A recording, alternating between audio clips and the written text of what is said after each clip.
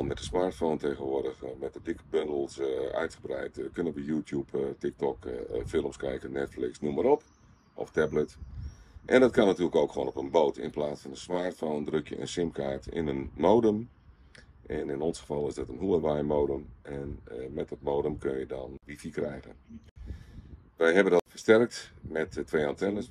En daarmee hadden we eigenlijk goed internet. Het nadeel is dan wel dat als je dan in het buitenland bent met eh, T-Mobile, die zegt dan na vier maanden hartstikke leuk, maar eh daar geldt het niet meer, want eh, je moet wel in Nederland verblijven. Nou, dus toen heb ik toch weer gekozen voor een, ook een onbeperkt simkaartje. Dat was van in dit geval Vodafone, geldig in heel Europa. Kan je tegenwoordig op meerdere plekken op het internet vinden. Kostte toen niet goedkoop, 125 euro inclusief BTW. En dat is dan voor heel West-Europa, alle belangrijke landen, geldig, eh, onbeperkt. Totdat we ineens op zwart gingen.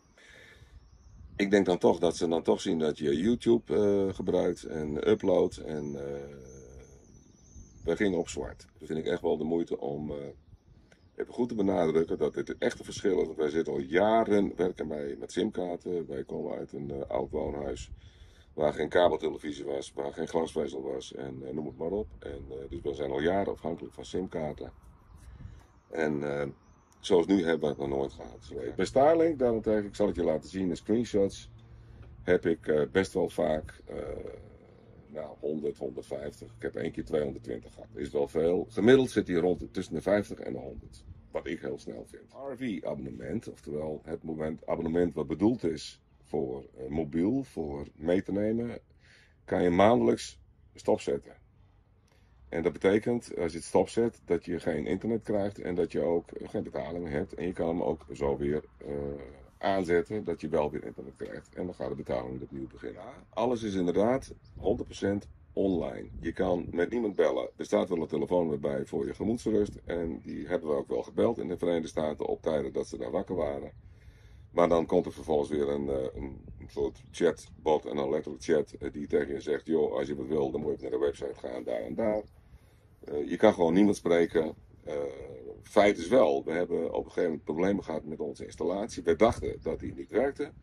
En het was binnen een kwartier. waren er allemaal e-mails van Starlink van joh, er, hier is een retoursticker. En toen bleek je later wel te werken.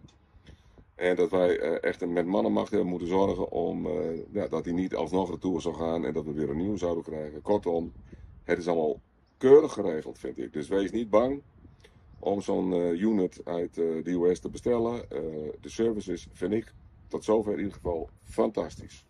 Wat kost het? Je betaalt in ons geval 450 euro voor de hardware, de antenne, de kabel en het modem. Dat is eigenlijk alles. En wij betaalden eerst 105 in de maand en het is nu gezakt zowaar naar eh, 100 in de maand. Hoe mooi is dat?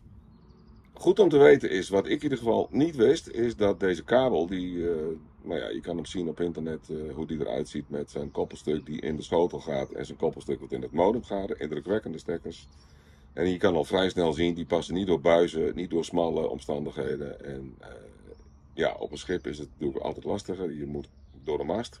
Het moet niet, maar het is mooier. En dan vervolgens moeten wij door nog, een, nog weer een vernauwing. En dat eh, met alles gedaan, maar dat lukte gewoon niet. Tot ik eh, de kabel dwars door heb geknipt.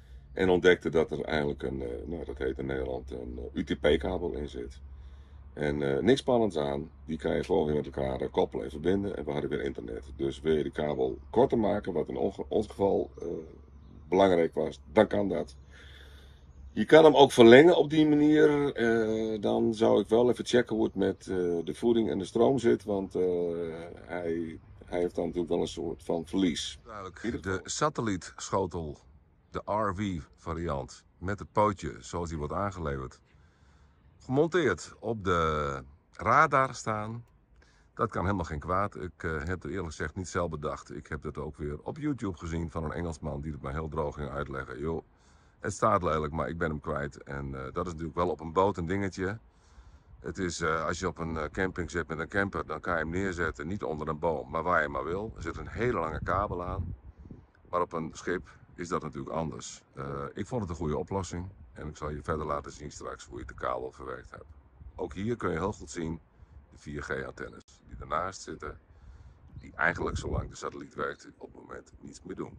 Dat kabel van de schotel een beetje omhoog gaat naar die uh, zaling die er zit. En dat heb ik bewust gedaan omdat ik waarschijnlijk later een satelliet op die zaling wil plaatsen. Uh, de kabel is vervolgens door deze mast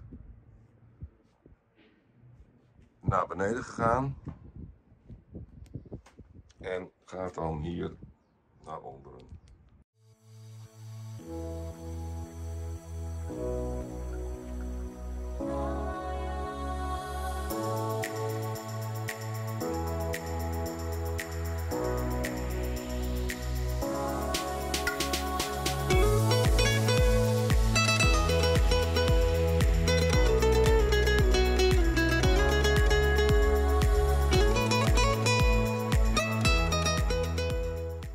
Resume.